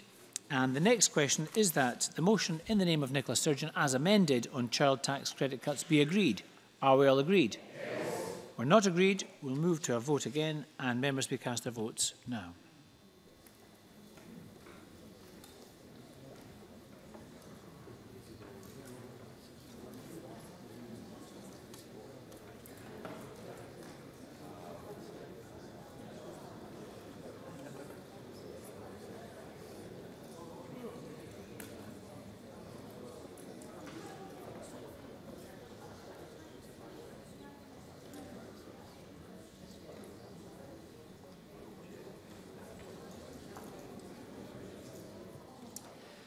The result of the vote on motion 5282 in the name of Nicola Sturgeon as amended is yes 91, no 31. There were no abstentions and the motion is therefore agreed. The next question is that motion 5283 in the name of Derek Mackay on the Air Departure Tax Scotland Bill at stage 1 be agreed. Are we all agreed? No. We're not agreed. We'll move to a division and members be cast their votes now.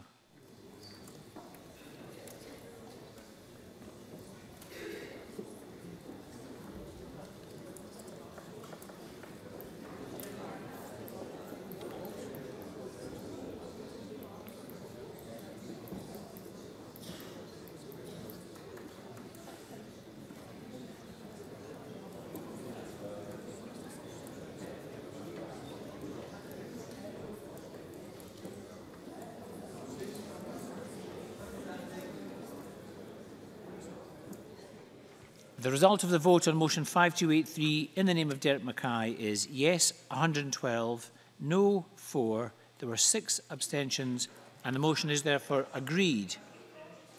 The next question is that motion 4995 in the name of Derek Mackay on the financial resolution for the Air Departure Tax Scotland Bill be agreed. Are we all agreed? Yes. Are we all agreed? Yes. We're not agreed. We'll move to division and we'll cast our votes now.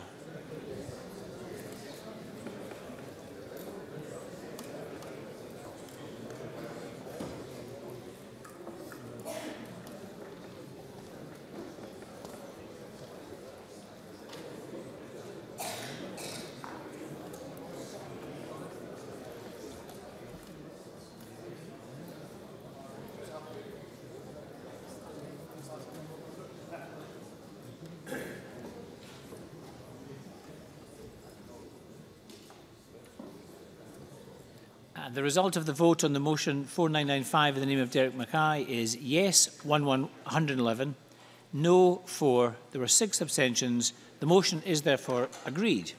And the final question is that motion 5286 in the name of Michael Matheson on the Criminal Finances Bill be agreed. Are we all agreed? We are agreed. That concludes decision time. We'll now move on to a members' business debate in the name of Maurice Golden on WWF Earth Hour 2017. And we'll just take a few moments to change seats.